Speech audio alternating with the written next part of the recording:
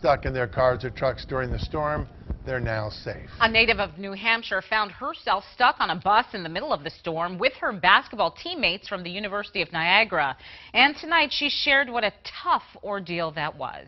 in the middle of the highway with my team. At first, Jamie Sherburne says getting stranded in a snowstorm was fun. In the beginning, um, when we were stuck, it was a little bit of a joke. We were kind of laughing about it. But she says it didn't take long before they felt the joke was on them. So the hours went by, and we started realizing, like, we got reports and information about other people being unconscious in cars and, you know, babies being born. We, you know, got little more scared. Jamie is a freshman player on Niagara University's women's basketball team.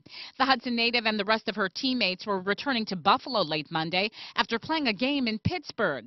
But 30 minutes into their four hour road trip, the bus came to a stop on I 90, stuck in the snow. We got stuck around 2 a.m., um, just, you know, from a blizzard.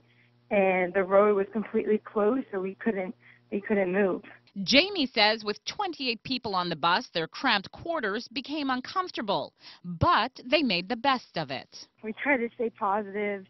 You know, we sang some songs. We were laughing. We were trying to like just uh, pretty much have uh, like the best of it. But 30 hours later, with the leftover pizza gone and granola bars and water running low, Jamie says they were extremely grateful when help arrived. We were rescued by the state police.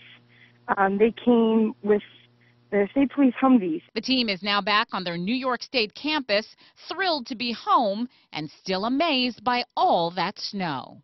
Honestly, I've never seen anything like this. Um, I mean, I live in New England, and this is really bad. It's really bad. And Jamie says that she's grateful that neither she nor any of her teammates were hurt in the storm. Well, Manchester police have identified the man.